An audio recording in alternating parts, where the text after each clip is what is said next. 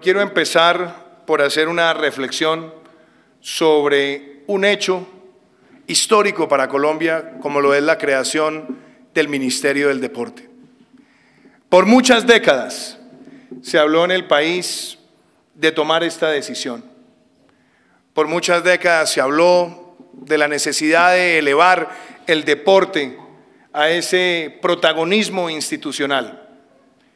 Y también por muchas décadas se habló de acompañar ese proceso buscando una mejor asignación de recursos para las regiones, para los deportistas, para la formación de alto rendimiento.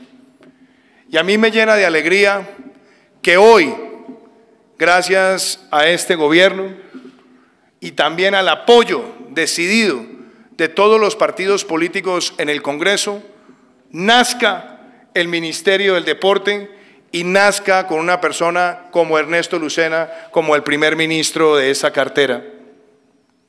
He conocido a Ernesto Lucena por muchos años y reúne muchas condiciones.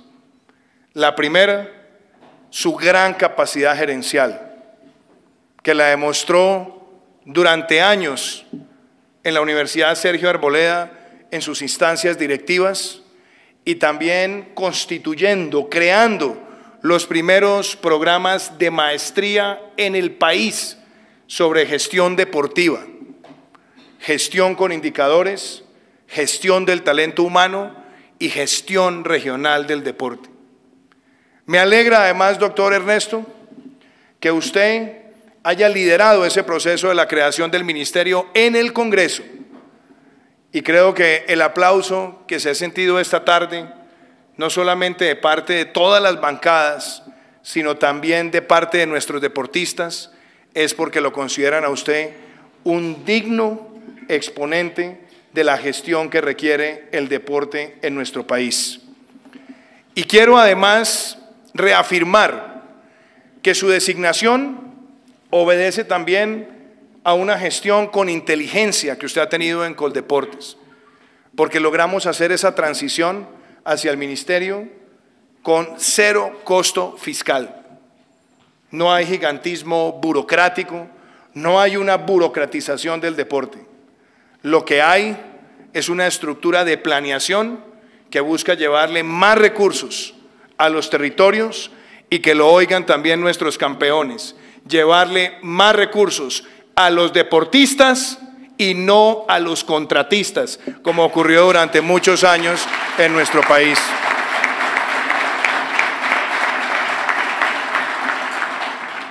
La gestión de excelencia en materia de escenarios deportivos, el acompañamiento para nuestros Juegos Nacionales del Bicentenario, gobernador Dumec, que lo ha liderado Ernesto Lucena, muestra cuál es su compromiso. Pero adicionalmente quiero destacar que este año se han podido dar pasos sustanciales. Vamos a entregar más de 400 escenarios deportivos en nuestro primer año y medio de gobierno, cumpliendo con tiempos y sobre todo con un gran nivel de seguimiento y supervisión para que los recursos realmente impacten en las comunidades e impacten en la juventud. Al ministro Lucena le vendrán varias tareas. La primera, hacer del deporte una herramienta para la convivencia y para la juventud de nuestro país, siendo un mecanismo eficaz para prevenir la tentación de la criminalidad y de la drogadicción en nuestros jóvenes. El deporte para la convivencia colectiva, que es el aprovechamiento de la infraestructura deportiva en las ciudades y municipios para generar tejido social.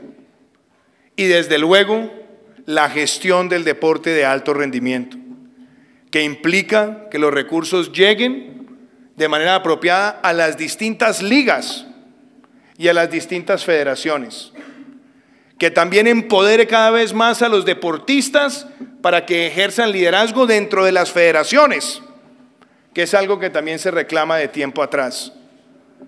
Y desde luego, apostarle para que Colombia se fije metas para seguir multiplicando sus logros internacionales y su representación en los cuadros de medallería en los distintos certámenes internacionales. A mí me alegra que nazca el Ministerio del Deporte y que nazca con Ernesto Lucena como ministro en un año donde el deporte colombiano está brillando. Ha brillado recientemente con tres colombianos en el abierto de tenis de los Estados Unidos, en dobles y una campeona juvenil. Ha brillado en el ciclismo, en el Tour de Francia, en la Vuelta a España, en el Giro. Ha brillado también en los Juegos Panamericanos, donde aumentamos el número de medallas. Ha aumentado en los Juegos para Panamericanos, donde nuestros campeones se posicionaron al más alto nivel alcanzado en jornada similar alguna.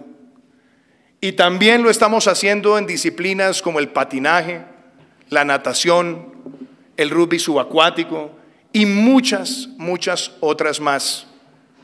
Y creo además, doctor Ernesto, que usted tendrá otro reto. Quizás este será el gobierno con más eventos deportivos internacionales en un periodo de cuatro años. El año entrante tendremos la Copa América.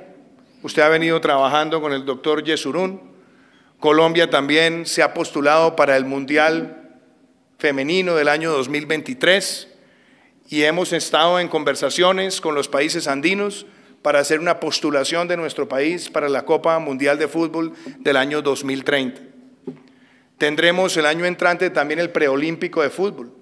Tendremos Juegos Bolivarianos en este gobierno. Tendremos también una gran participación en los mundiales de disciplinas no convencionales y algunas convencionales. Y no puedo dejar de también hacerle una mención muy importante en su formación, doctor Ernesto, a su propia condición de campeón deportivo. Usted participó en varios Juegos Nacionales en squash y ganó medallas. Y usted ha entendido el sufrimiento y el esfuerzo de nuestros deportistas y entiende mejor que nadie cuáles son sus necesidades.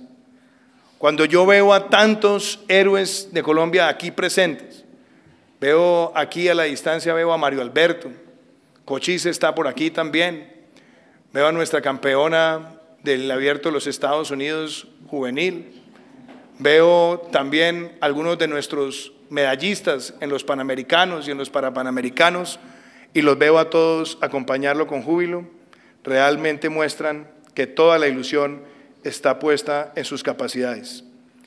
Le deseo lo mejor, señor ministro, y Colombia hoy se enorgullece de ver nacer un ministerio anhelado con una persona de sus calidades.